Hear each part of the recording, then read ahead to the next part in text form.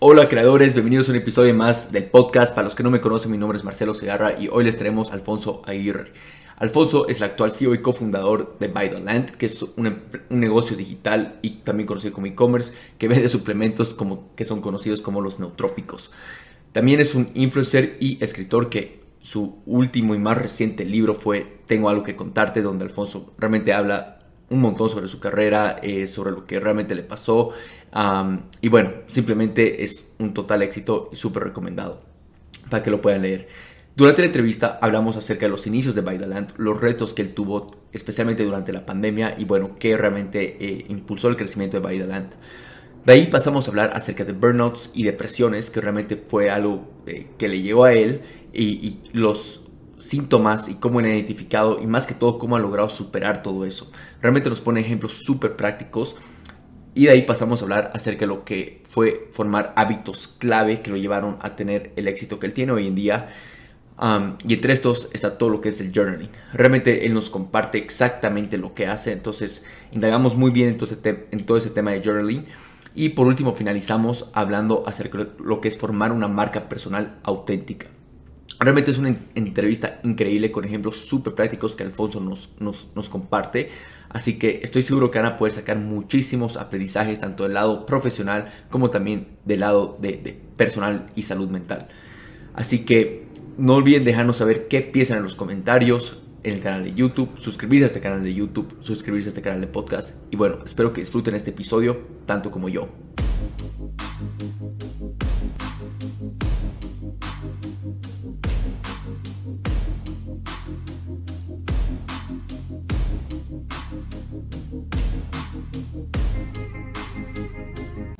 Hola, ¿cómo estás Alfonso? Bienvenido a Creadores. Gracias Marcelo, muchas gracias por el espacio y creo que tenemos muchas cosas que platicar. Sí, sí, totalmente. como te comentaba primero en la entrevista, ando súper emocionado de, tenerte acá, eh, tanto yo poder aprender y también, bueno, la, audiencia poder aprender de ti. mira, quiero arrancar con la pregunta que arrancamos con, con todo speaker, que es ¿cómo te picó a ti el bicho emprendedor? creo que desde chiquito me acuerdo que siempre quería comprar mis propias cosas, entonces creo que fue como la primera vez cuando salió el Kindle que quería comprármelo y no quería que mis papás me lo compraran, entonces vi como posibilidades y lo primero que se me ocurrió fue, eh, vi que estaba en el cine, que iba a llegar las últimas películas de Harry Potter y renté, sí les pedí prestados a mis familiares dinero para rentar toda una sala entera para la función de medianoche y al final se los pude regresar después de haber vendido más de 400 boletos, les regresé su inversión, yo me quedé con mi parte, me pude comprar mi Kindle y creo que a partir de ahí me encantaron los negocios y de ahí ya no paré. Wow, eh, ¿y a, qué edad más o menos era esto? Fue muy chico, yo creo que tenía, no sé, 13, eh, 14, yo creo que... Buenísimo. Sí, cuando estaban las últimas películas de, de esas series, y a partir de ahí, obviamente, ya los emprendimientos fueron haciéndose mucho más formales, mucho más grandes, con un porqué, ahora sí, eh, con mucho propósito, pero pues fue evolucionando con el tiempo. No, sí, lógicamente. Y, la, la, razón, o sea, número uno que, que hacemos, empezamos por esa pregunta, es porque eh, o sea, yo creo mucho de que hartos emprendedores tienen esas tendencias a, emprender desde muy pequeños, por lo menos igual era mi caso. Obviamente no, no es siempre, ¿no? Pero eh, es una manera como para igual que muchas personas puedan relacionarse y, relacionar esas tendencias que quizás estén teniendo o hayan tenido con, con, con, su historia. Así que buenísimo. Este, bueno, de ahí quisiera un poco que tocar, eh, bueno, son muchas cosas que te quiero preguntar desde el lado desde tu libro, eh, el lado de eh, contenido, emprendedurismo y muchas cosas más. Entonces quiero dividir esta parte en secciones y de ahí vamos arrancando. Empecemos eh, primero quizás con el lado de emprendedurismo. ¿Podrías comentarnos un poco acerca de By the Land y también, bueno, si tuviste emprendimientos previos a By the Land, comentarnos un poco acerca de esos emprendimientos, qué aprendizaje sacaste, cómo surgió la idea y de ahí vamos arrancando. Sí, By Land es mi empresa de suplementos eh, sobre todo tenemos un producto principal que se llama Infinite, que nuestra empresa se hizo viral en TikTok el año pasado gracias a ese producto, que es un utrópico, que eh, creo que tú estás también bastante eh, muy relacionado con el tema. Y realmente eh, lo que hacemos nosotros es dar las herramientas que no encontramos normalmente en la dieta diaria para que las puedas tener a tu alcance y que puedas encontrar mayor concentración. Y pues esta empresa empezó justo en el mes en el que empezó la pandemia, en el 2020, abril de 2020, a la par en la que yo empezaba también mis, mis redes sociales, mi perfil en TikTok. Y obviamente la empresa ya llevaba ocho meses de preparación, desde que me había graduado prácticamente estaba como revisando cosas de marca, fórmulas, laboratorio, etc. Llega la pandemia y tuvimos que tomar la decisión difícil de lanzar o no lanzar y afortunadamente decidimos sí lanzar y eh, no lo sabíamos, pero también en los primeros meses de la pandemia eh, el tema de, de nutrópicos, el tema de suplementos iba a estar dentro de las 10 industrias que más crecían en esos primeros meses. Entonces fue como si la suerte nos encontrara trabajando eh, al mismo tiempo que estaba toda esta situación. Y creo que durante la pandemia, por eso los primeros meses me pude mantener muy activo y demasiado comprometido con crecer la empresa y hacerla salir adelante, eh, comparado con muchas otras personas que yo entiendo que fueron también temas y días muy difíciles, eh, en el que para mi caso fueron de mucho trabajo, porque si no se caían los planes que teníamos por todos esos meses. Eh, es, es, uno de los emprendimientos que, que, más ha crecido, que el único que realmente se ha hecho viral. También tengo otros proyectos anteriores que eh, les tuvimos que decir que no, porque realmente teníamos que enfocarnos en By the Land. Y tuve emprendimientos que iban, a mí me encantaba programar. Eh, desde secundaria aprendí con tutoriales, bases de datos, etc. Entonces tuve emprendimientos en los que desarrollábamos plataformas eh, para universidades, para escuelas, para empresas y al final eh, muchos emprendimientos fueron similares a ese, pero creo que eh, pues me decidí por, por un tema ya de más enfoque a By Sí, sí, sí, no, totalmente. Mira, acá quiero resaltar un par de cosas. primero el tema de lo que dices, ¿no? Que tuvieron, tuviste que decir que no a otros emprendimientos. Eh, yo como emprendedor ha sido uno de mis errores más grandes tener muchos emprendimientos y no enfocarme en... Eh, porque a veces el timing es perfecto en, en uno, ¿no? Y, y eso ha sido un error mío, no, no pasó mucho como el cuestión de tu historia y definitivamente es algo, un aprendizaje que todo emprendedor necesita aprender, ¿no? O sea, en el sentido de aprender a decir no a otras cosas, al, a las siete cosas que brilla, ¿no? Eh, eso es uno, que quisiera que la audiencia pueda realmente enfocarse en eso. Y eh, bueno, quisiera un poco, o sea, preguntarte, eh, bueno, cuando empezaron a agarrar un poco de tracción, bueno, quizás antes de, esta parte de tracción, ¿qué te trae el mundo de neutrópicos? Eh, igual esto quizás puedo relacionar un poquito con lo que decías que ya ahorita están emprendiendo en, o sea, has encontrado emprendimientos con propósito. ¿no? Entonces quisiera un poco entender cuál es el propósito de Vitaland y, y, bueno, cómo, qué te trae este mundo, ¿no?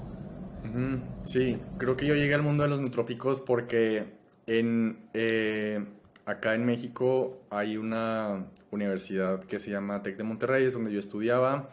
Eh, yo decidí cambiarme de carrera también en, en, Ya iba muy adelante, llevaba casi cuatro semestres o cinco semestres, pero realmente no era lo mío, estaba en ingeniería industrial y decidí cambiarme a negocios porque me di cuenta que todo mi tiempo libre lo dedicaba a hacer negocios o a leer sobre esos temas y después de leer un tiempo eh, un libro que se llama Decisiones Difíciles, que no se trata de tomar decisiones, sino se trata eh, más bien de, de relaciones internacionales, de cómo está cada país, etc.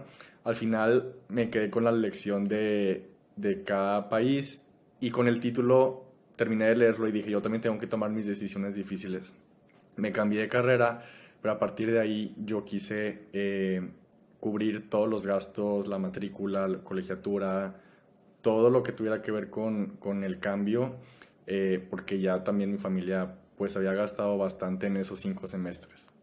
Entonces tenía mis emprendimientos, mi emprendimiento también de, desarrollo de plataformas, etc. Y eh, también tuve que acompañarlo con un trabajo de tiempo completo, que era como la parte eh, que tú sabes que en un emprendimiento nunca es fijo el ingreso, siempre hay altos y, altas y bajas y lo compensé con un trabajo de tiempo completo que igual fue muy flexible porque me permitía eh, asistir a todas las cosas de la universidad, o todo lo académico, tareas, exámenes. Incluso me permitieron tomar dos veranos internacionales que eh, estoy muy agradecido por haber tenido esa oportunidad en ese trabajo.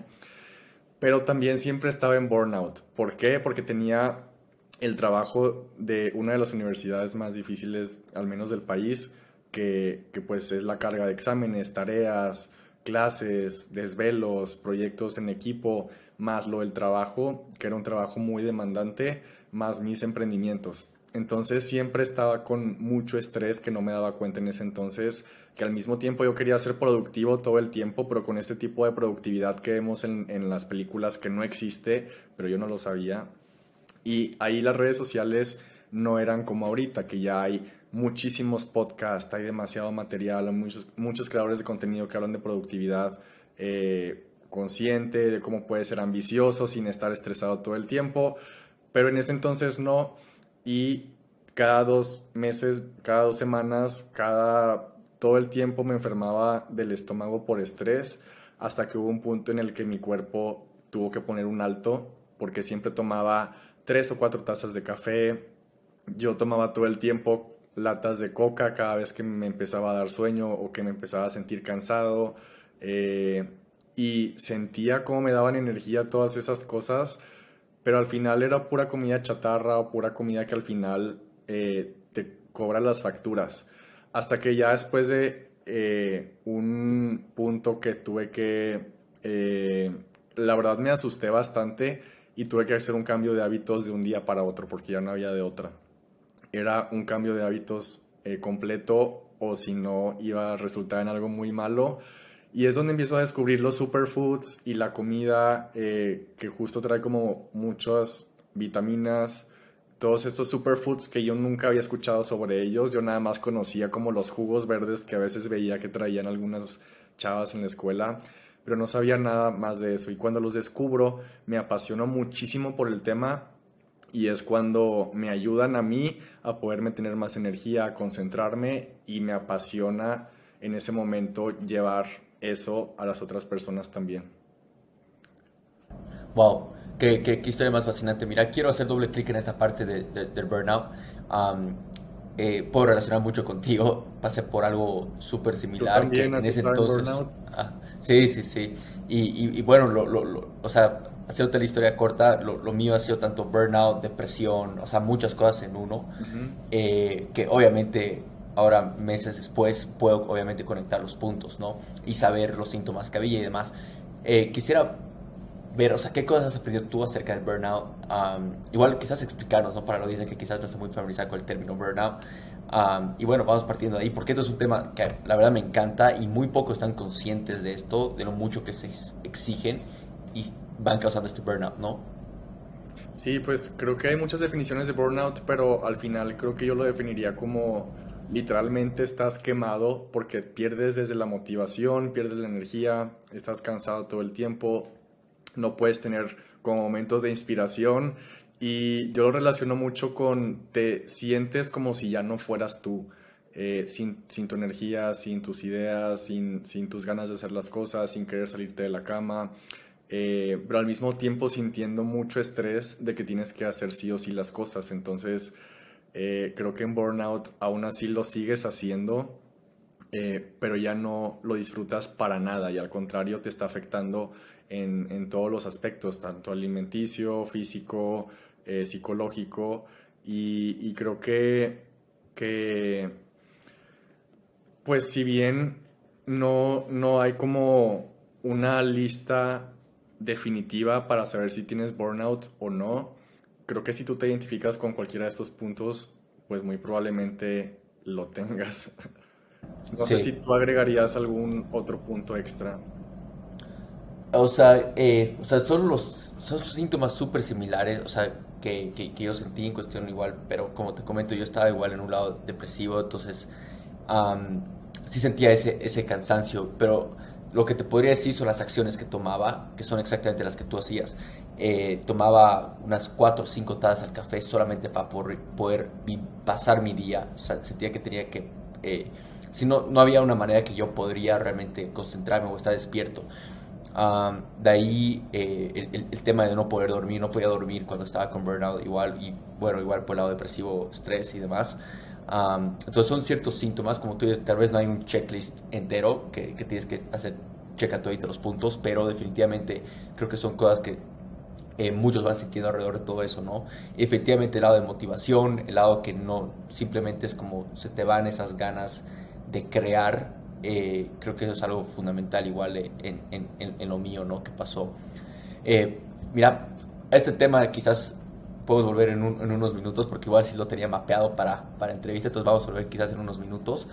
Avanzando un poquito con este, con toda esta rama tuya de, de, emprendedurismo y demás. Nos comentabas un poco que eh, cuando arrancaron By the Land, justo estabas empezando a montarte en TikTok. Imagino que es ahí cuando ha empezado a crecer toda esta influencia, esta marca personal tuya. ¿Podrías comentarnos un poco acerca de eso? Eh, quizás llevarnos atrás de cómo, cómo se dio y un poquito cómo... Eh, o sea, siento que a veces te viene este momento, ajá, que esto es lo tuyo, ¿no? De poder crear, influir, impactar en otras personas con, con tu historia y lo que estás viviendo igual. Entonces, ¿podrías llevarnos unos meses atrás? Sí, y creo que, como te platicaba, empecé TikTok en abril de 2020, pero no es ahí cuando me empezó a dar resultados de inmediato. Y realmente tampoco fue muy raro en el momento, pero no veía yo en ese momento cómo me podía dar resultados, porque en ese entonces no sé si te acuerdas, pero al principio muchas personas les daba risa TikTok, todos decían que nunca lo iban a descargar. Casi todos los creadores en 2020 eran como de rutinas, bailes, lip sync. Casi no había creadores de otro estilo. Entonces era incierto el futuro que, tenía TikTok. De hecho, no, no creí eh, que se pudiera utilizar tampoco para Land. Ni siquiera lo veía como una plataforma para impulsar mi libro. Solo sabía que, que había como algo, pero no sabía qué iba a ser en, en, el futuro, porque pues todavía no pasaba, todavía no había ningún caso de éxito. Sí, sí, sí, sí. No, me pasó exactamente lo mismo, sí. sí, justo, y hasta, hasta ese punto realmente tenía mi cuenta de Instagram que tenía alrededor de, no sé, 20 mil personas en mi cuenta, que pues si bien me funcionaba para mi para mi primer libro que lo publiqué de manera independiente, eh, es gracias a eso porque yo empecé a, crear como mi perfil, mi marca personal. ¿Por qué? Porque volviendo mucho más atrás, creo que la primera intención que yo tuve fue como transmitir muchas cosas que están en mi primer libro independiente, eh, que era la versión de un estudiante de cómo alguien de 18 o 20 años puede cambiar el mundo, cómo puede emprender, eh, había tenido esos dos intercambios que te platicaba, que aprendí muchísimas cosas que no se están haciendo, por lo menos en Latinoamérica, eh, y quería transmitirlo. Y lo que yo hice fue escribir el libro entero, lo publiqué vía Amazon. Amazon no te promociona, tú tienes que hacer tu propia promoción. Y eh, afortunadamente en los primeros meses llegó a los más vendidos porque se empezó a hacer como mucho en boca en boca. Ahí había poquitos creadores. Todo esto fue en el 2019. Eh, había poquitos creadores que lo empezaban a recomendar también, entonces como que fue muy bueno y gracias a eso empecé a subir cosas yo del libro a mi Instagram. Realmente no fue con el objetivo eh, al revés o no fue como con otra idea, sino más bien con la, con la intención de hacer llegar el libro a más personas. Y bueno, a partir de ahí prácticamente se dieron todos estos proyectos que eh, nunca eh, tuve que entrar después de graduarme a otro trabajo y a partir de ahí encontré una frase que me gusta mucho que se llama desayuna como diciendo tus propios proyectos. Y es a lo que me he dedicado y ahora sí veo las, las redes sociales como una herramienta para fortalecer tus proyectos. Y muchos creen que tu marca personal entrando a ese tema es como, eh, no sé, como qué fuentes usas, qué logotipo, qué qué tipo de videos subes, no sé, todo ese tipo de cosas. Y yo lo veo de dos maneras diferentes. Ahorita también me gustaría tu opinión.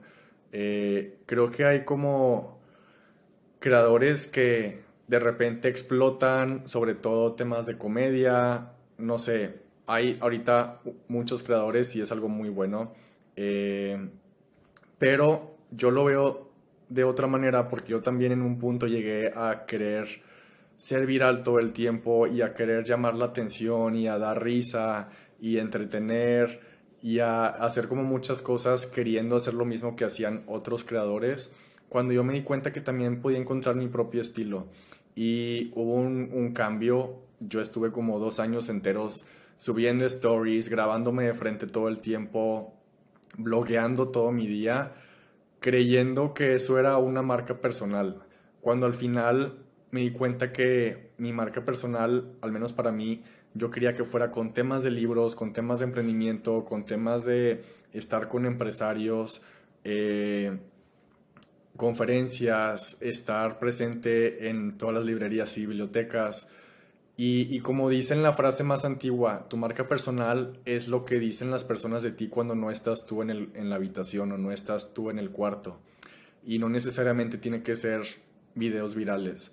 Entonces, ahorita estoy tratando de complementar ambas cosas, haciéndolo muy a mi estilo y sin tener que hacer cosas que los demás hacen para poder estar presentes, sino yo haciendo las cosas que a mí me gustaría, que no necesariamente son como las más explosivas o las más estratégicas, por así decirlo, pero al final quiero construir como esa marca personal eh, a mi manera y es como mis dos maneras de verlo. No sé si me explicar bien. Sí, sí, no, y la, la verdad me encanta cómo lo, lo, lo, pones y demás. Mira, para ser honesto, yo estoy justo en, en este mismo trayecto, ¿no? Em, definitivamente estoy muy lejos de, de, tener una marca personal como, como la tuya, porque recién estoy empezando, ¿no? Pero es más, o sea, yo empecé a crear contenido ya como hace un año.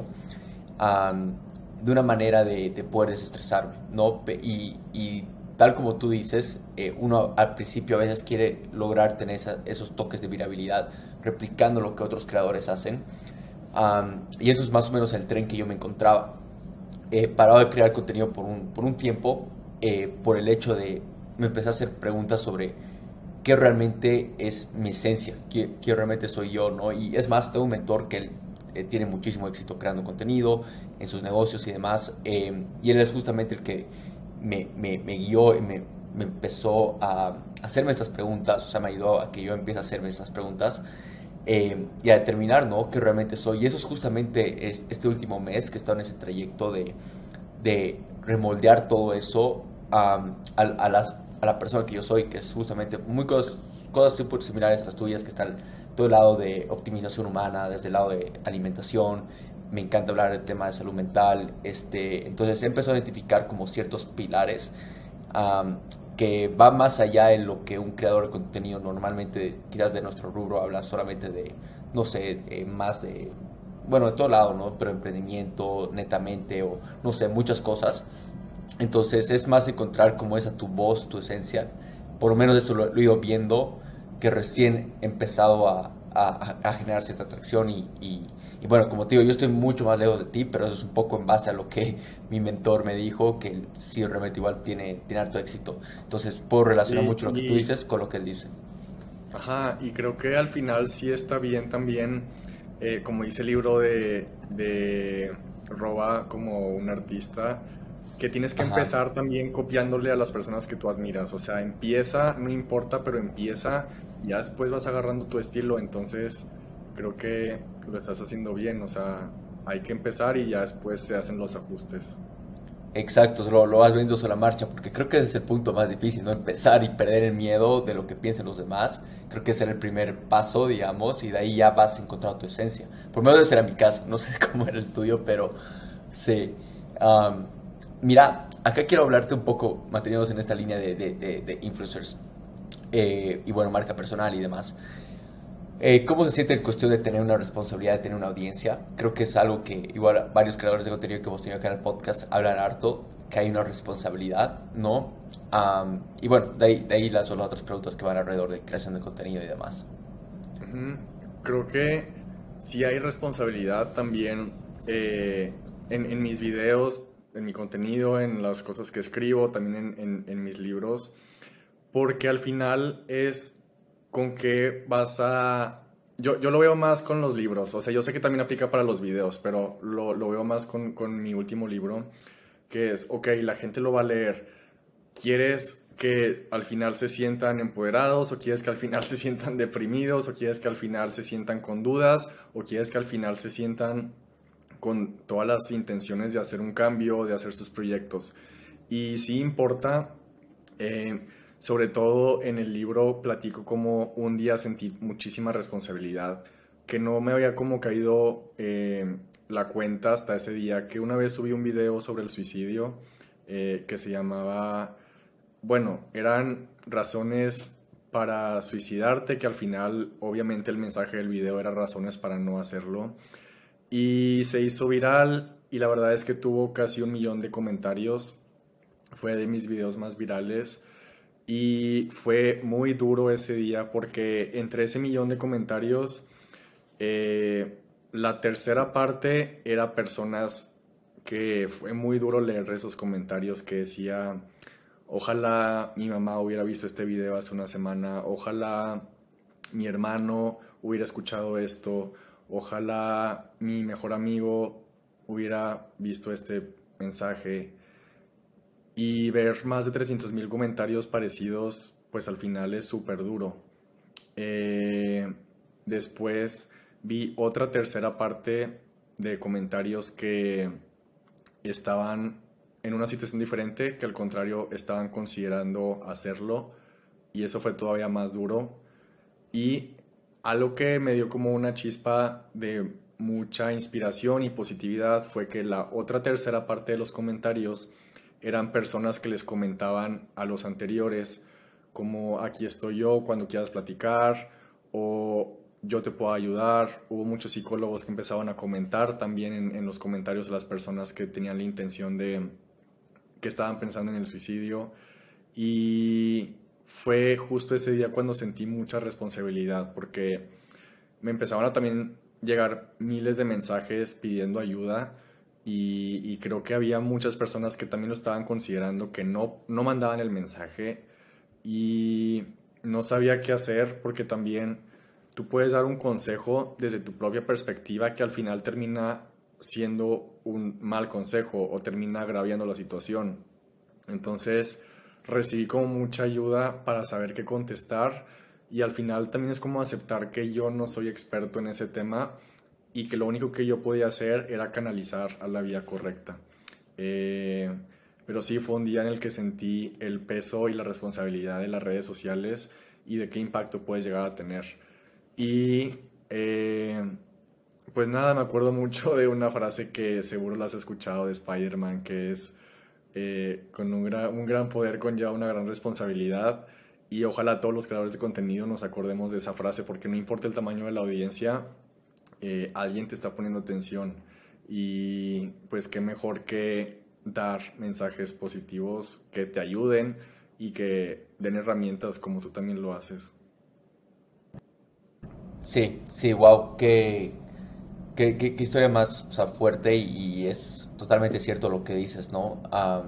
o sea, sobre todo ese tema que, que, que, tocas, que va súper alineado a todo lo que es eh, salud mental, así que, bueno, eso solo da un, un, toque lo que realmente es la responsabilidad de tener una audiencia y como dices en el libro, no sé si, mira, no tuve chance de leer tu libro aún, ah, definitivamente después igual de, hacer research, para toda esa entrevista y demás, me quedé con todas las ganas de, leerlo y está en mi, en mi card de Amazon, pero eh, no sé si has logrado tocar este tema al final en el libro o no, sobre el tema de, esta parte de salud mental.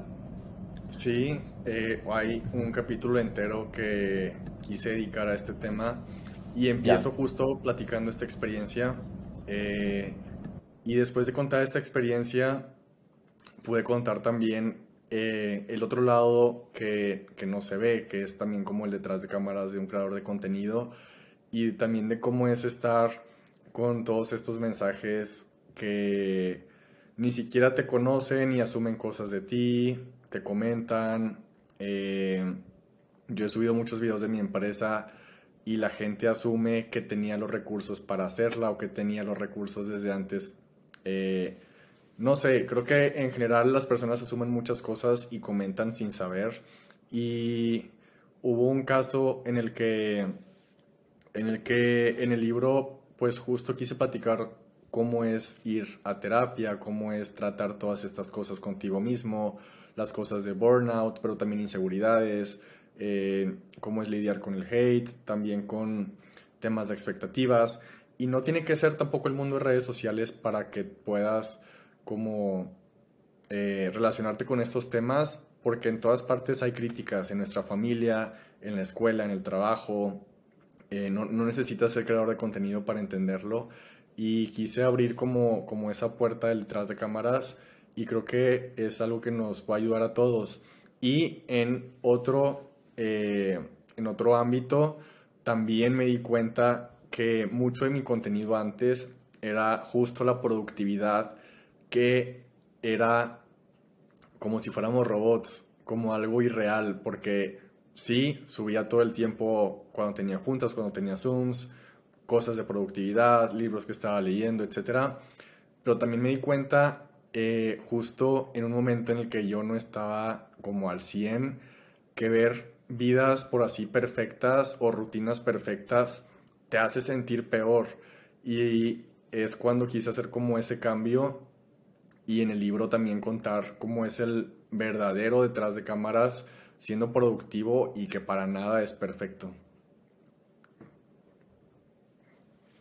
Sí, sí, tienes, toda la razón en eso. definitivamente comparto mucho en, lo que, en lo que estás compartiendo. sobre todo porque igual me, igual me, me, di cuenta de eso, ¿no? Eh, igual subo un montón de cosas cuestión de la productividad y demás, pero en realidad no todo es así, ¿no? No todo es estar como 100% motivado, 100% all in. Eh, hay bajones súper duros y eso es algo que empezó a compartir. Y solo, ya me imagino en la poca escala que yo tengo, eh, cómo ha, podido ser esto en, tu escala, porque un montón de personas me han empezado a hablar acerca del tema de salud mental, porque yo lo empecé a tocar, ¿no? Lo empecé a tocar eh, un montón y hasta compartiendo parte de las terapias que yo hago. Uh, definitivamente es algo que un montón de personas han empezado a relacionarse porque no han encontrado ellos la manera de, de, llegar a ese, ese, tipo de soluciones, se me han hecho un montón de preguntas. Entonces me he dado cuenta de un montón de cosas de, de que realmente no se hablan y, es esa parte detrás de cámaras justamente lo que estás hablando, ¿no? Ahora, quiero entrar... siendo como, como, como, pequeños tabús que se tienen que abrir todavía mucho más. Exacto, no, y, y, definitivamente, mira, yo creo que, o sea, como, como región Latinoamérica es algo que nos queda muchísimo. Eh, si, y es más, como creadores, o sea, veo creadores de contenido igual de Estados Unidos, eh, en, inglés, que hay mucho, hay mucho más información sobre esto, ¿no? Y es algo que se ha tocado ya más, pero igual todavía falta romperse, ¿no? Eh, y es más, o sea, como región de Latinoamérica estamos mucho más lejos aún. Eh, recién han empezado a salir ciertos creadores de contenido alrededor de esos temas y, bueno, igual, es así como cruzado un poco igual con, con, contenido hace meses, meses atrás, ¿no? y es justamente eso lo que quiero entrar veo que compartes harto, o sea, compartes cosas sobre burnout, eh, depresión, ansiedad y bueno, tal como nos has compartido igual hace unos minutos, eh, tiene sentido lo que, o sea, lo que estás compartiendo porque son cosas que has pasado por estas cosas, ¿no? Entonces, quisiera quizás un poco más allá de, tocar un poco de los, de los síntomas que ya hemos tocado, pero sino de qué cosas te han ayudado a salir eh, sobre esto, porque yo creo mucho de que se trata de aplicar ciertos hábitos y sistemas para uno poder reconocer cuando estás entrando a estos estados y para poder salir tú mismo de esto, ¿no? Y la primera vez es la más difícil porque no sabes reconocerte, ¿no? Y eso es lo que me ha pasado. Ah, y, creo que mucho que no se trata si es que va a pasar, sino cuándo te va a pasar. Y creo que todos van a pasar esto en, en su vida. Entonces quisiera un poco que nos comparta acerca de eso. Sí, y es mejor ir trabajando las cosas antes de que te pase. Eh, y a mí lo que me gusta mucho hacer ahora es, eh, tengo un reto que apenas estoy, apenas lancé un piloto hace cerca de un mes, que es como un, reset, un reto de 10 días de reset y productividad. Y lo que me gusta mucho es que las personas piensan que desde el día 1 vamos a empezar levantándonos a las 5, haciendo checklist, armando tu calendario como todas estas cosas de productividad. Y el reto es totalmente lo contrario, es, ok, día uno va a ser solamente como herramientas que, que te ayudan a reflexionar qué es lo que estás haciendo y cuáles son las metas que sí son tuyas y cuáles son las metas a las que ya les tienes que decir que no. Y si te fijas es un shift súper diferente a empezar levantándote a las 5 de la mañana a que sigas, porque eso se va a acabar, la motivación se acaba y puedes empezar con una rutina súper fuerte y cambios de hábitos y nueva mentalidad, pero se va a acabar si no hay un porqué. Eh, entonces empezamos como muy light, después pasamos al tema de, de, empezar a reconocer ahora sí cuáles son las cosas que de verdad quieres hacer y las que no. Y, y es como un, un, caminito que va como subiendo, pero poco a poco, para que al final ya tengas herramientas de cómo quieres tú ahora sí funcionar de ahí en adelante. ¿Por qué? Porque antes tenía otra cosa que lo empecé en pandemia también, que durante el, momento fue muy bueno y le aprendí muchísimas cosas. Estuve casi un año y medio o dos eh, con, con, mi club de las 5 de la mañana, que ahí sí las personas entraban y a partir del día 1 ya era levantarnos a las 5, hacer la rutina de Robin Sharma, la fórmula del 20-20-20, que es movimiento, ejercicio, reflexión y crecimiento, eh, que es una, una herramienta muy buena que no no quiero decir que no funciona, solo creo que funciona más cuando hacemos primero todo esto que te decía antes, el, por qué, definir las cosas que quieres, eh, qué es lo que quieres alcanzar, hacemos mucho journaling y son herramientas que, que, para mí, por ejemplo, hacer un journal te permiten explorarte a ti mismo. Porque sí creo que las cosas en la mente, en la cabeza, se ven mucho más enredadas de lo que en realidad son y simplemente por poner las cosas por escrito te da paz y aparte te da claridad. Entonces, primero para mí es todo eso para poder llegar a, una productividad ya mucho más eh, enfocado a ti y creo que cuando es más enfocado a ti es mucho menos probable que caigas en un burnout. Sí, mira, quiero hacer doble clic en esa parte de journaling y, primero eh, comparto mucho lo que estás ah, hablando ahorita ah, y quisiera agregar ahorita mis, mis, dos centavos en esta parte.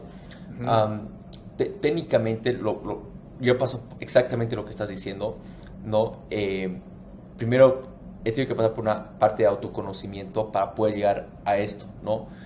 Pero en mi historia, primero eh, yo empecé con estas rutinas de levantarme súper temprano, empecé con todo esto. Te estoy hablando quizás casi yo Cuatro, cuatro, años atrás, pero hay un vacío, ¿no? Hay un vacío y, es más, luego te empiezas a preguntar de por qué estás haciendo estas cosas o, o y, y, si de las preguntas difíciles, que, que son más preguntas que, que, te tienen que rectar y llenar esa motivación, o sea, esta etapa de autoconocimiento que le he logrado hacer, pero obviamente he tenido que frenar todo lo que hacía para poder pasar por esta etapa de autoconocimiento. Recién ahí todo empezó a tener sentido. Eso es lo que ha sido un poco mi, mi, caso. y de ahí lo que me he dado cuenta es de que ya pasé por esta etapa de autoconocimiento por lo menos unas tres veces. ¿no? Tres veces que he tenido que un poco frenar eh, y retro, o sea, evaluarme de nuevo, autoconocerme de nuevo, porque ese propósito y motivación, o sea, lo que te mueve va cambiando en el transcurso del tiempo. Mientras tú más vas creciendo como persona, más va agarrando y cambiando eh, es, este propósito, ¿no? Porque empiezas a soñar más en grande, te vas dando cuenta de las cosas que realmente puedes lograr. Y por lo menos te estoy hablando desde mi caso, entonces quisiera un poco entender si este ha sido un caso muy similar a lo que tú has, lo que tú has pasado. Y bueno, de ahí pasamos a hacer doble clic al, lado de journaling. Sí, yo también empecé con, con, ese tipo de rutinas, sobre todo con la de las 5 de la mañana, eh, que si bien creo que te ayuda, o sea, la, la, la fórmula o la estructura del club de las 5 te ayuda a que te acerques al autoconocimiento, porque si trae lo de journaling, trae lo de reflexión, creo que no, o sea, sí creo que tarda y tarda bastante y creo que sí hubiera sido mejor empezar de la otra manera. Pero al mismo tiempo creo que hay, o sea, todos tenemos diferentes momentos en los que en algún punto también nos salvó y nos ayudó a tener este tipo de rutinas. Y creo que como vamos cambiando es justo con lo que ya tenemos que ver que hay algo mucho más allá pero muy probablemente si no lo experimentamos antes no hubiéramos podido llegar aquí. Entonces, eh, tiene como su, su lado positivo, ambas cosas, y creo que ya depende del momento en el que se encuentre cada persona, qué tipo de, de rutina necesita. Si la que es más consciente para que vaya como poco a poco, o si ya está muy mal y necesita como un cambio de un día para otro y ya después poco a poco irse acercando a, esto del autoconocimiento. Entonces, creo que ahí, como te digo, sí depende de, de cómo se encuentra la persona en un momento dado. Sí, sí, definitivamente. Ya, a ver, pasemos a la parte de, journaling. Entonces, he visto que es algo que tú compartes un montón. Eh, quizás antes de entrar a esto, yo igual hago journaling, ¿no? Pero lo hago un poquito diferente de lo que tú, eh, o sea, de cómo lo, has platicado, entonces por eso igual me, me, interesa saber un poquito de, de, cómo exactamente lo haces, qué beneficios has sacado, o sea, ese antes y después que ha tenido en tu vida. y bueno, de ahí arrancamos. Sí, pues a mí me gusta mucho hacer el journaling. Eh, haciéndote preguntas que te ayudan, o sea, tú definiendo las preguntas dependiendo de lo que tú quieres llegar. Por ejemplo, a mí no me gusta hacer preguntas tanto de lo que pasó ayer o de lo que pasó en los días pasados, sino más como preguntas que es como cómo te quieres sentir al final del día, qué cosas están pasando por tu mente. Eh, ya si tengo situaciones específicas, hago la pregunta, por ejemplo, en un momento eh, de la pandemia, ya como la mitad de la pandemia sentía que no estaba aprovechando mi energía creativa y entonces justo una de las preguntas fue a ver, ¿por qué sientes que no estás aprovechando tu energía creativa? ¿Cómo puedes aprovecharla? ¿Qué, qué son las cosas que ahorita te llaman? Pero creo que sí es bien importante eh, darte cuenta de cuáles son los temas que están pasando por tu mente para que puedas ponerle la pregunta y que a partir de esa pregunta ya puedas soltarte tú escribiendo. A mí sí me gusta como eh, escribir todo lo que va pasando por tu mente eh, de acuerdo a esa pregunta y te das cuenta de muchas cosas y al final si es necesario de ahí mismo puedes sacar un plan o puedes sacar, ok, ¿cómo lo voy a lograr? O, ok, ¿cómo hago que suceda eso? Hay veces que simplemente es nada más como desahogarte, hay otras veces que es para temas de productividad, hay cosas que es para temas de, eh, temas de proyectos, de seguridad personal, de confianza, eh, cosas personales, cosas que quieres soltar también. Eh, pero sí cambia mucho cada día y, va enfocado a, a, un tema en específico. Eh, no sé si claro. nos puedes explicar un poquito más de cómo lo haces tú. Sí, sí, no, definitivamente. para, entender esto, o sea, lo que querías es hacerte las preguntas que están pasando por tu mente ese rato. ¿Por qué no haces preguntas pasadas, o sea, más autorreflectivas?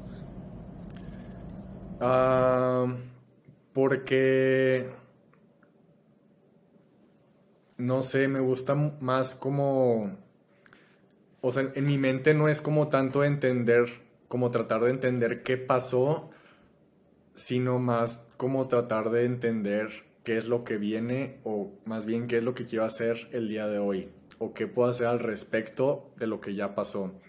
Eh, tengo otras cosas que me gusta mucho a mí como guardar feedback, anotar mejoras, eh, por ejemplo, hay lecciones que a mí me gusta mucho guardar que aprendí cuando estaba en la universidad, que era cada vez que organizábamos un evento y terminaba, al, día siguiente del evento teníamos una junta que era feedback y era ver qué salió mal, qué puede mejorar. Y no para echar culpas, sino solo es, es feedback.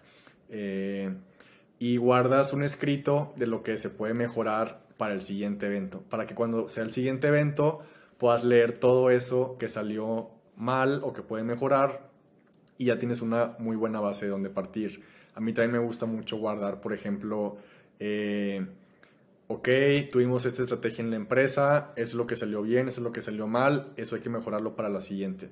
Pero pues no es journaling, o sea, simplemente es como guardar feedback, que es, es como mi manera de tratar de entender lo que ya pasó. Pero no, no, es un proceso tan personal. Y, el journaling sí lo enfoco más al día de hoy, a cómo me siento, cómo me quiero sentir, qué quiero hacer, eh, qué está pasando por mi mente, cómo le doy orden a mis ideas y de ahí para adelante. Sí, sí, bueno, buenísimo. Si no, tiene, mucho sentido. solo me daba curiosidad, o sea, yo lo, lo, lo mío son más, o sea, como te decía, son, es más como un, un journaling, hablo de 10, 15 minutos, que lo hago ya sea al principio del día, o sea, siempre al principio del día, y si es que eh, puedo igual lo hago al, al, final, no, no soy tan consistente con el final del día, pero normalmente lo que hago en cuestión de las, de las preguntas, eh, o sea, es más como un approach eh, en el journaling en el sentido de qué cosas estoy más agradecido, aprendizajes que he tenido, o sea, súper rápido. y de ahí, en qué momentos me he sentido más en mi, en mi estado de, de, flow, qué cosas he sentido que podría haber hecho mejor, o sea, va más a ese lado, no, no, no más hacia el lado de, de preguntas de por qué me siento como me siento. Anoto exactamente lo que siento, eso sí, anoto lo que estoy sintiendo, pero definitivamente algo que voy a empezar a agregar es esa parte de preguntas. La parte de preguntas le he empezado a hacer más en mi, como en, en horas, he empezado a poner horas de pensar, ¿no? Y, imagino que quizás esto es más o menos lo que está yendo contigo. Em, pero son ciertas preguntas que tengo que realmente quiero pensar, ¿no? sobre eso, o sea, desde, o sea, todo tipo de decisiones, la verdad, lo que esté pasando más, lo que me esté pesando más en ese momento. Eh, y, bueno, eso y por lo, por lo otro igual hago esas eh, más como sesiones de retroalimentación, de feedback que estás hablando, eh, que definitivamente me ha ayudado un montón y lo aplico en cada etapa de mi vida, ¿no? Desde, después de un viaje, lo, lo aplico en el negocio, lo aplico en las relaciones, lo aplico en absolutamente todo.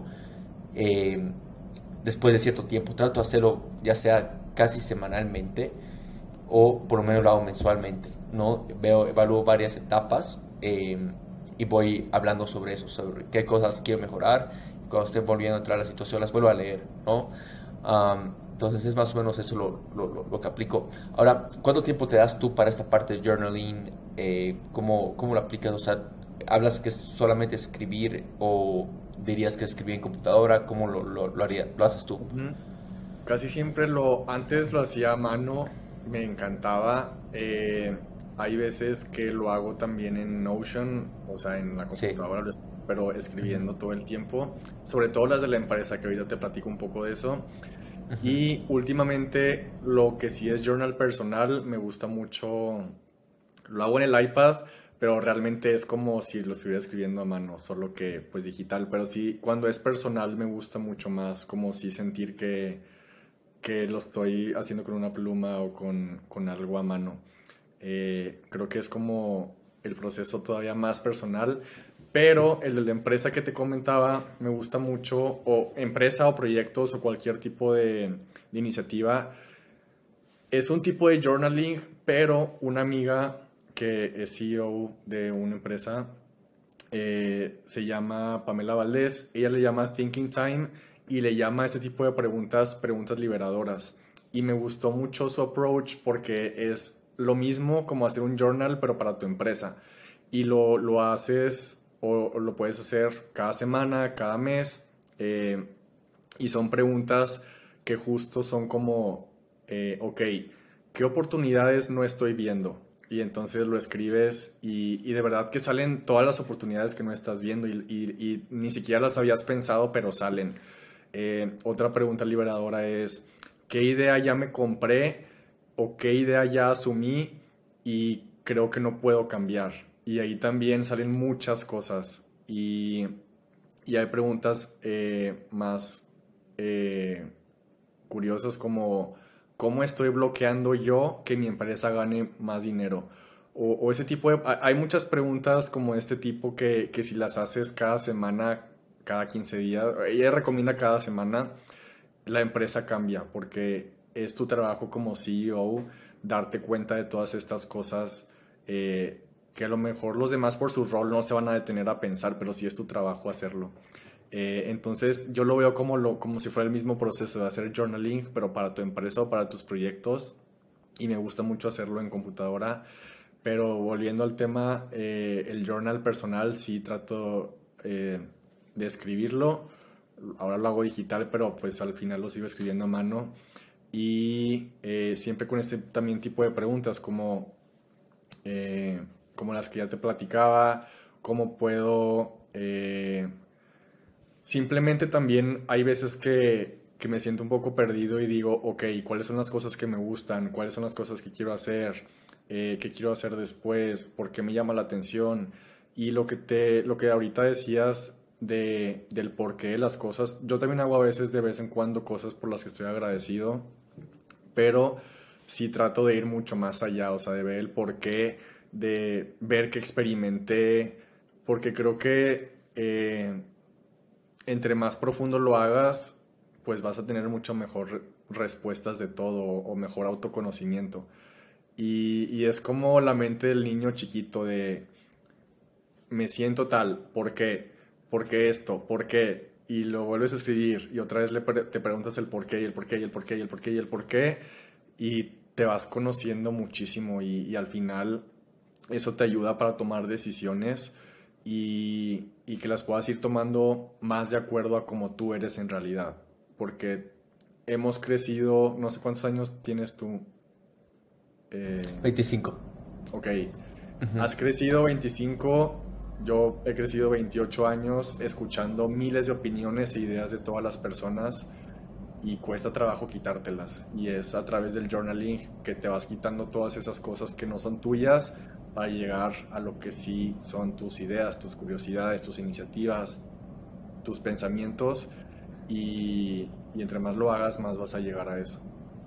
Sí, sí, no, buenísimo. Mira, lo, lo voy a aplicar eh, tal como te comenté. Pero primero que nada, Pamela es una crack y es más, desde que escuché a Pamela, eh, o sea, eh, como en un podcast que, que, la entrevistaron como hace unos dos años, creo, es desde ahí que empezó a aplicar esta parte de Thinking Time, ¿no? Porque empezó algo, increíble uh, y lo empecé a aplicar tanto en negocio como también el lado personal, pero no de una manera escrita. Entonces, definitivamente eso es algo que voy a empezar a hacerlo. ¿No? Eh, y, bueno, ya te voy o La recomendación es tener tu lista de preguntas eh, para el Thinking Time como un banco de unas, eh, no sé, 10, 15, 20 preguntas y cada semana. Y no, no las tienes que hacer todas cada semana, pero sí guiarte con, con ese tipo de preguntas. Sí, sí, no, definitivamente. Buenísimo. a ver, pasemos un poco al, al a otra rama, que es ya un poco quizás entrando a la parte de tu libro, eh, del, de más recientes. Si no estoy mal, el título es Tengo algo que contarte, ¿no? El, último, el más reciente. algo que escuché, bueno, hablarte y demás en momento hacer investigación para, para, la entrevista, es de que algo que, que te motivó o, o, te marcó mucho para este libro es preguntarte de qué libro te hubiera gustado leer a ti antes eh, antes de graduarte o, era justo después de graduarte o algo así, ¿no? Entonces, yendo a que el tema de la graduación fue como un milestone, un, turning point, un, punto de inflexión súper grande en tu vida. Ah, y quisiera un poco que nos platiques sobre eso, ¿no? Eh, creo que muchos han pasado por eso, incluyéndome, de, de, preguntarnos ¿qué, qué, qué, viene ahora, ¿no? ¿Qué viene después? Y justo es cuando igual te, te gradúas, uno de esos momentos. Eh, y bueno, de ahí vamos entrando un poco acerca del libro. Sí, para mí fue un evento que estaba esperando toda mi vida, la graduación, y me di cuenta que al final seguía siendo la misma persona, seguía sintiéndome como yo mismo y que no había cambiado prácticamente nada. Y si bien eh, es una buena meta, es una meta que también eligieron por nosotros y que nos estuvieron diciendo desde chiquito que teníamos que hacerlo eh, y se ve como algo muy importante que al final terminas entrando al mundo real y no tienes las bases reales para poder desarrollarte en ese mundo. Y ni siquiera vemos en la escuela todas estas cosas de productividad, eh, ni siquiera impuestos, eh, salud mental, autoconocimiento, nada de esto es parte como de los programas normales. Y pues justo mi libro empieza el día siguiente de mi grabación, cuando me pregunté por primera vez y ahora qué sigue. Y justo la narrativa de todo el libro son como eh, experiencias que a mí me gusta contarlo como si estuviera platicando con un amigo que en Estados Unidos le llaman escribir tu memoir, memorias, en el que cuentas con mucho storytelling, lecciones, aprendizajes, frases. Y creo que es una manera que por lo menos a mí me encanta leer de otros autores Y toda la narrativa de todo el libro es ¿y ahora qué sigue? Porque ahí presento como mi, mi teoría de que las personas que a lo mejor ahorita le están pasando un poco mal o que no saben qué sigue o que no saben qué elegir, eh, es porque ya cumplieron una muy buena meta que tenían, pero no se volvieron a hacer la pregunta y ahora qué sigue. Y como que nos quedamos siguiendo la corriente o con la meta de alguien más. Y quiero que con este libro puedan las personas que lo lean como desarrollar toda esta parte de autoconocimiento y de cómo a través de experiencias de otras personas, de frases, de aprendizajes, de historias, puedas encontrar tú la tuya otra vez. Y, justo platico todos los detrás de cámaras de manera muy vulnerable, que si bien, eh, pues mi experiencia ha sido lo que platicábamos al principio. Eh, me gradué, me fui por la parte creativa al principio de escribir mi propio libro independiente, llegó a los más vendidos, después tuve mi emprendimiento, eh, mis redes sociales, se hizo viral mi empresa, tuvimos crecimiento exponencial, tuvimos que aprender muchas lecciones de negocios con emprendedores y creo que es, es como eh, para quien le llame la atención la parte creativa y la parte de emprendimiento, creo que es una muy buena herramienta. Eh, que por lo menos a mí me hubiera encantado tener, porque ahí platico un poco en el libro. Al principio sentía que no podía relacionarme con nadie porque mis amigos estaban como en su trabajo eh, en sus trabajos demandantes de tiempo completo, eh, con mi familia pues también en sus cosas, mi ciudad, eh, pues aparte que estábamos todos encerrados como que lo sentía muy chiquito, no encontraba personas que hicieran lo mismo que yo, entonces fue como, debe de haber más personas que quieran la parte creativa y que quieran la parte de emprendimiento y que tengan un e-commerce, ¿dónde están todas estas personas con las que puedo platicar experiencias parecidas a las mías? Que creo que es algo que todos queremos hacer, como encontrar personas con las que podamos hacer clic. Y eh, quiero que este libro sea como el primer apoyo de las personas que traen la intención de hacer ese tipo de cosas y, también, eh, pues si bien no la guía, pero que sientan que están sentados en un café con un amigo platicando de todas esas cosas que nos inspiran y que, que nos motivan y que lo puedas platicar con alguien por medio de un libro. Wow, sí, no, eh, tocaste, tocaste hartos, hartos puntos que quería entrar.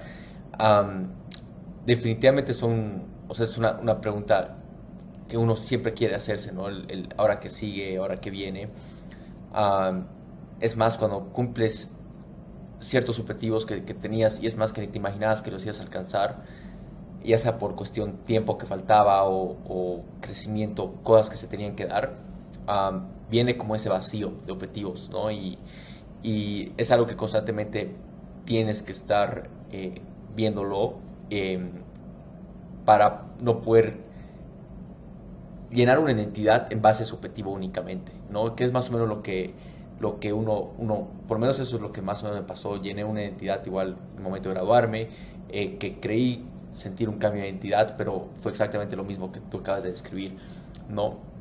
Em, y, yo creo que al final siempre cambias, o sea, vas a cumplir tu meta, pero ya cambiaste, entonces por eso tienes que volver a cambiar tu meta.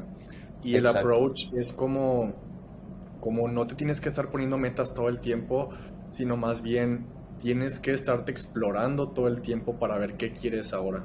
Cuando dejas de, explorar tus curiosidades y lo que te interesa en el momento, es cuando te empiezas a sentir vacío. Pero si todo el Exacto. Es, enamorarte del proceso de autoconocerte. Exacto. No, y, eso es totalmente cierto, ¿no? Es justamente lo, lo, que iba. Y eso es donde lo que te quiero preguntar igual. ¿Qué te sirvió a ti para encontrar esa pasión? ¿Por qué lo digo? Porque, o sea, tienes tus emprendimientos, igual eres escritor, igual creas contenido, son muchas cosas que, que, que, que van llenándote de ese lado, pero ¿qué te sirvió a ti para encontrar esa pasión que podrías dar como recomendación igual a la audiencia que nos está escuchando? Es que al final es seguir tus curiosidades. Eh, porque muchas veces sientes que lo que te gusta nunca se va a conectar y creo que muchos han puesto de ejemplo el discurso de Steve Jobs que dio en Stanford, que es imposible ver cómo se conectan los, los puntos viendo al futuro. Pero si tú sigues tus curiosidades, si de verdad sigues como lo que quieres hacer, volteas a ver para atrás y encuentras cómo se conectaron las cosas. Porque ahorita para mí es súper fácil decir, pues es que era obvio, TikTok me iba a ayudar a, a servir a mi empresa y era obvio que TikTok me iba a ayudar a conseguir la editorial más grande del mundo para así escribir mi segundo libro y que me iba a seguir como plataforma y que me iba a ayudar a todos estos proyectos. Pero como te platicaba al principio, ni siquiera sabíamos si TikTok iba a funcionar y todos lo veían como algo de risa o, como de pena o vergüenza. Y yo no, lo, yo no conectaba los puntos para adelante, eh, pero ahora obvio y que creo que le pasa a todo mundo, si volteas para atrás, todo lo que hiciste tuvo sentido. Eh, pero es importante eso, seguir tus curiosidades, incluso cuando no les veas cómo se conectan con las otras cosas que haces. Por ejemplo, a algunos les gusta el fútbol, pero también les encanta escribir y también les encanta la animación digital o el cine.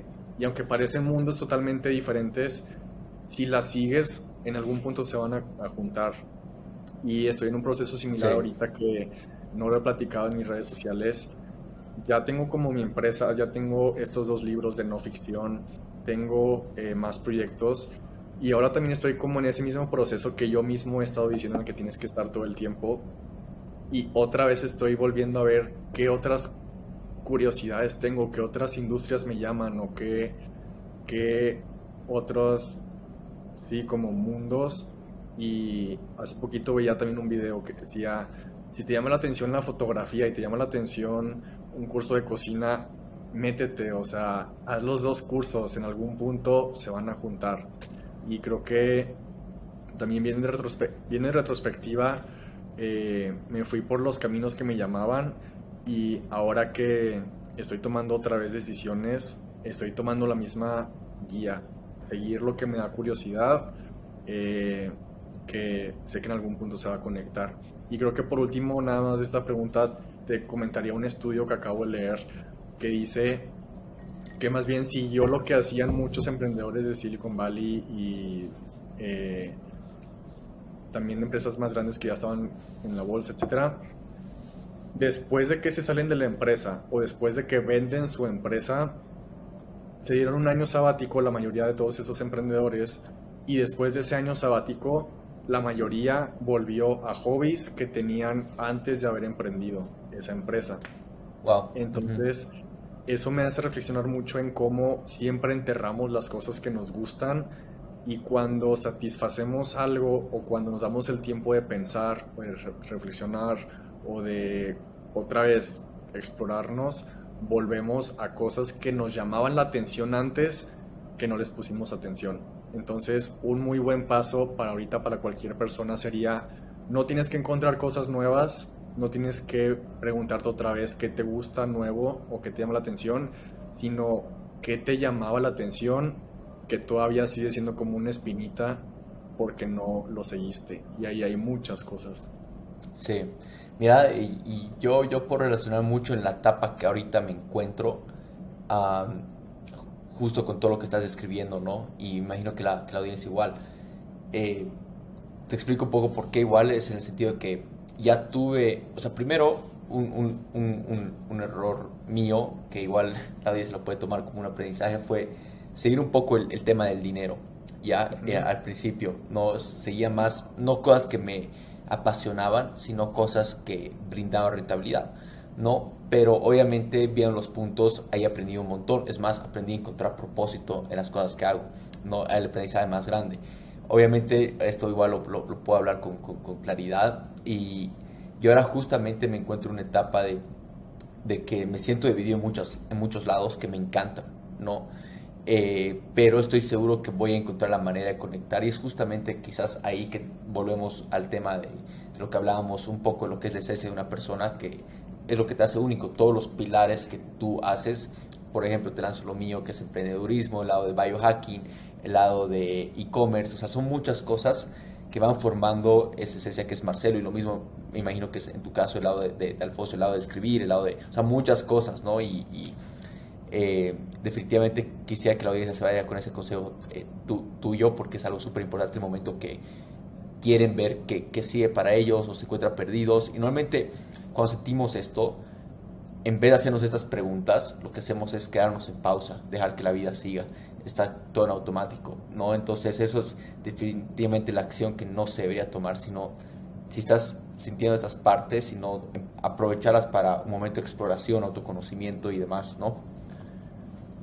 Sí, y creo que eso pasa porque en el libro platico mucho una reflexión que hice que es por qué antes, y, a lo mejor un personaje que ahorita todos pueden identificar es, es Hamilton, porque el musical se hizo súper famoso, que él era, eh, primero fue como comerciante, bueno, fue académico, comerciante, después estuvo como muy involucrado en, todo el tema de, de la independencia de Estados Unidos, y después fue eh, secretario del Tesoro y fue después también eh, empresario, que muchos no saben, pero algunos de los periódicos más grandes de ahorita él los fundó, también tenía otras empresas, escribía, escribía también cosas en los periódicos. Eh, y como que me hace mucho reflexionar justo de cómo antes todos esos personajes históricos eran inventores, pero escritores también, y estaban en política, y después eh, hacían un libro de una historia de ficción, y después participaban en gobierno, y después ponían una empresa, y se desarrollaban en todos sus ámbitos. Y eso se fue perdiendo, sobre todo más en, en las últimas generaciones, que solo tenías que hacer una sola cosa, una sola carrera.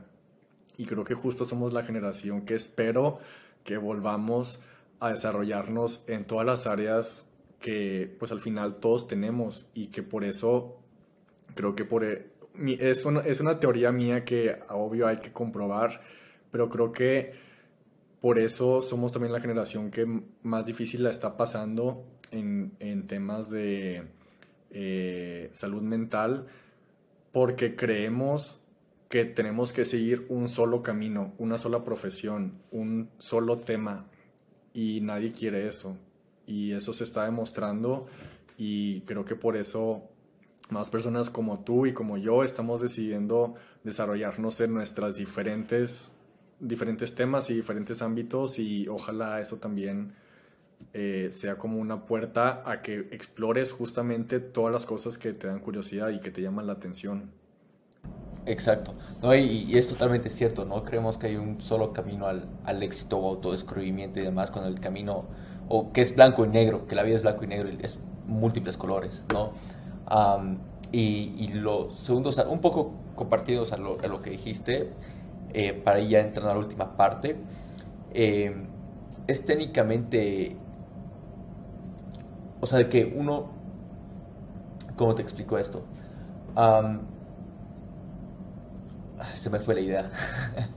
se me fue la idea. Eh, pero bueno, eh, sí, queda podemos pasar a la, a la parte, a la última a la última parte y si vuelve la idea ya, ya ah, te, la, te, la, menciono. sí, sí. A veces así cuando, cuando quieres hablar. Ah, ya, ya, ya me acordé.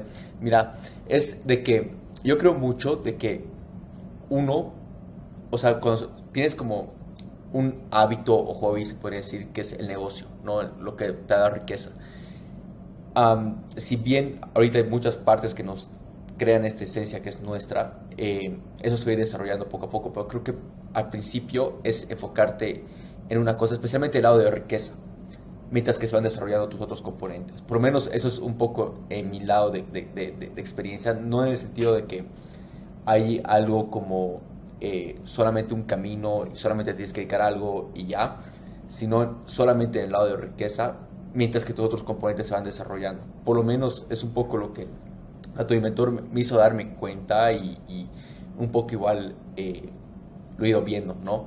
Pero bueno, al final a cabo creo que igual son, son teorías. Ajá. o sea, creo, que igual te sirve porque al final si haces otro tipo de proyectos o si haces otro tipo de áreas, sí o sí vas a ver cómo se puede monetizar. Y, o sea, siento que ya sabes que, que si bien el dinero no te lo da todo, sabes que sí puede estar eh, apoyándote para que justo hagas esos proyectos. Y ya no se vuelve como el objetivo, sino se vuelve la herramienta para poder crearlo.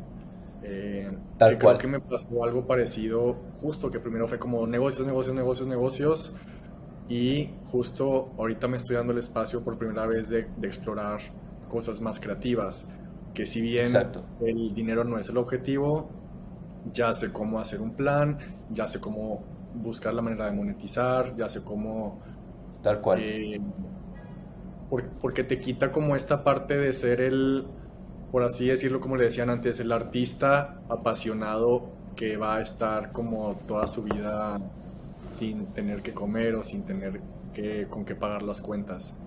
Y creo que haber ido por este camino que a los dos nos pasó fue como, ok, lo, lo haces como un poco de lado mentalmente, pero sigue siendo una herramienta y no sé, como que te quita el estrés, pero te permite desarrollarte en otras cosas usando esa herramienta. Definitivamente, sí, totalmente, totalmente comparto mucho en, en- eso lo que, lo que dices. El dinero se vuelve la, herramienta que eh, va a impulsar las otras cosas, ¿no? O sea, solamente se vuelve una herramienta, un recurso y, listo, para que luego hagas lo que realmente te apasiona y el impacto que quieres lograr. Buenísimo, buenísimo, Alfonso. Mira, eh, realmente temas, nos tocó temas increíbles. Quisiera pasar a la última parte de, la entrevista, que son preguntas cortas, las respuestas como tú quieras. Dale. A ver, primero, eh, ¿cuál fue tu lección o aprendizaje más grande? Esto, sé que hay miles, que nos has compartido miles, pero ¿cuál sería el más grande que puedes resaltar? Que tienes que cambiar todo el tiempo al mismo tiempo que vas cambiando tú. Creo que ahí se resumen muchas cosas. Sí, sí, sí, buenísimo. Am, de ahí la segunda pregunta, igual es algo que lo hemos tocado a lo largo de la entrevista, pues, ¿cómo cuidas tu, tu- tu salud mental? Si quizás nos podrías poner quizás en formas de ciertas rutinas que aplicas. Hablaste un poco del journaling, no sé qué otras cosas quisieras agregar. Sí. Mi no negociable es el journaling, pero también tengo una lista que se llama mi lista de anclas, que ahí tengo cosas simples, pero que me llenan. Y eh, es una lista que es de cosas demasiado simples como comer palomitas, ir al cine a ver una Ya. buena película, salir descalzo a, caminar en el jardín, eh, pasear con mi perro. Cosas muy, muy, muy, muy simples y trato de poner en mi día siempre una cosa de esa lista. Ya, buenísimo. Mira, primera vez que nos comparten algo así, pero es algo eh, ne- necesario, ¿no? Normalmente las respuestas que encontramos es hacemos ejercicio y cosas así, ¿no? Para cuidar la salud mental, pero eh, yo empecé a aplicar lo que, lo que, lo que dices, am, de justo, que casualidad, ¿no? Pero hace unos dos, tres meses recién, eh, porque igual no estaba contento de cómo estaba llevando ciertas cosas, ¿no? Y era porque no estaba haciendo los, lo- las partes que me hacían feliz o me llenaban. Y son cosas, esas partes simples que estás hablando, desde caminar descalzo, este, eh, tomar sol, o sea, varias pequeñas cosas que, que yo le encuentro otro valor para mí, ¿no? Entonces es justamente eso. Sí, y en- entre más sencillas mejor y, y sí hay que tenerlas por escrito porque si no piensas que no tienes esas cosas. Sí, sí, exacto, y, y- y repasarlo, ¿no? Porque ver cuál no lo haces hace tiempo, pero Sí. qué, qué casualidad, buenísimo. Este, de ahí nos vamos a la siguiente, que es ¿qué hábito o skill estás trabajando ahora y por qué y cómo? Ahorita estoy trabajando en una nueva skill que es escritura de ficción, que yo sé que Ya. parece que no se va a conectar con todo lo que hago, pero quiero explorar la parte creativa de libros de ficción y de historias, de storytelling. Eh, es lo que estoy desarrollando en este momento. Y eh, el mundo de los scripts también estoy tomando masterclass, masterclasses de algunas personas sobre eso. Buenísimo.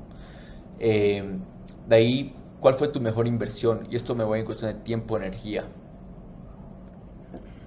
Mi mejor inversión, eh, creo que definitivamente fue un conocer la- las clases de conocer el yoga por medio de unas clases que me inscribí cuando estaba en mi último semestre, que si bien eh, fue hace mucho tiempo, creo que fue lo que cambió prácticamente todo.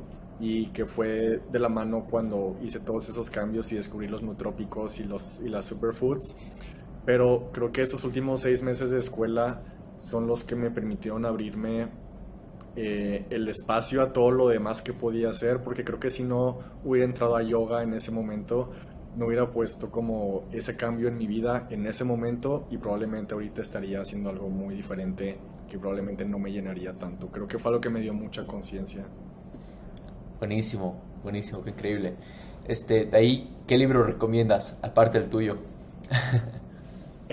aparte del mío, recomiendo un libro que a mí me encantó que se llama Shoe Dog, que en español le pusieron Nunca Pares, que es la historia de Nike, porque para mí es un libro que está escrito como de manera muy, eh, no sé si poético, está escrito de una manera muy diferente a los libros más actuales, que es como una escritura más moderna. Eh, hay muchos aprendizajes como filosóficos, personales, y creo también que conocemos muchas historias como las de Apple, como las de Jeff Bezos, de Amazon, y creo que la de Nike casi nadie la conoce y es una muy buena historia. A mí me inspiró muchísimo y tuve muchos aprendizajes personales y también para mi empresa. Sí, no, definitivamente. O sea, es el, librazo. Y lo que a mí me encanta de, de, Shoe Dog es el tema de que, o sea, realmente te, te cuentan toda, toda la historia, todos los malos momentos que realmente pasaron, que estuvieron a punto de, desaparecer miles de veces. Eh, y realmente te pone en perspectiva lo que estás haciendo, ¿no? Cuando hay esa, esa no te puedo decir motivación, pero ese, ese propósito de lo que quieres hacer. Y justo creo que por fuera, en, esa época creo que todavía no estábamos nosotros, pero se veía como una, una empresa muy exitosa y ahí te muestra cómo estaba realmente la empresa. Exacto, exacto, tal cual. Bueno, nos vamos a la siguiente pregunta que es, ¿qué emprendedor de la TAM admiras? Pues definitivamente alguien que ya mencioné, Pamela Valdés, y además de sus aprendizajes y de la empresa que está construyendo, eh, me ha ayudado a mí mucho personalmente. Yo la conocí sin saber quién era y aún así me abrió las puertas a, muchísimas cosas y me apoyó con sus mentores, etc. Y eh, creo que también, además de ella, Nada más ah, quisiera abrir como un, paréntesis y, que por eso se me hace bien importante a mí que más emprendedores mexicanos y latinoamericanos escriban sus libros y cuenten sus historias, porque justo siempre tenemos los ejemplos de las empresas de Silicon Valley de Estados Unidos y falta conocer mucho más todas las historias de, de emprendedores latinoamericanos como Freddy Vega, Pamela Valdés, eh, y seguro hay muchos más que ellos para mí son como más los referentes. Sí, no, definitivamente. Pamela es una super crack, espero en el momento poder tener acá en, Creadores. Eh, a mí me inspiró mucho igual, ¿no? Eh, escucho hartas entrevistas que, que, ella da y es una crack total y bueno, igual soy fan de Vic, ¿no? Así que increíble. Este, ahora nos vamos con la última, es que si tuvieras que poner una frase en una valla publicitaria o en un billboard, para que millones de personas lo vean, ¿cuál sería? Hecho es mejor que perfecto. Aplica para todas las cosas que todos queremos hacer. Buenísimo. Sí, no, definitivamente muy buena frase y siempre todo el mundo quiere ser perfeccionista, ¿no? Y justo escuché esa frase tuya. Me, encantó, la verdad. Buenísimo. Buenísimo, Alfonso. Mira, te quedo súper agradecido. Realmente esta entrevista nos quedó corta por todos los temas que hemos tocado. Eh, ya guardo mis, siguientes preguntas para la siguiente ocasión que logremos tenerte. Y bueno, súper agradecido de mi lado. Estoy seguro que la audiencia igual se lleva muchísimo con ellos. Gracias, un abrazo y cualquier cosa también estoy al pendiente. Buenísimo. Gracias por ver este episodio. Si te gustó nuestro contenido y sacaste valor, por favor déjanos saber qué piensas en los comentarios, como también suscribirte a este canal de YouTube. Esto nos permitirá llegar a mejores expertos y también emprendedores alrededor de la TAM y también llegar a, más personas con ganas de llevar su vida al siguiente nivel como tú. Y también nos ayudará a formar una comunidad de gran impacto. Y si estás buscando aprender, emprender y también expandir tus conocimientos, aquí te dejo dos formas gratuitas de cómo hacerlo. Número uno, únete a nuestra comunidad de Quiero Emprender en Facebook. Y número dos, síguenos en Facebook, Instagram y TikTok. Te dejo los links en la descripción. Nos vemos en el siguiente episodio.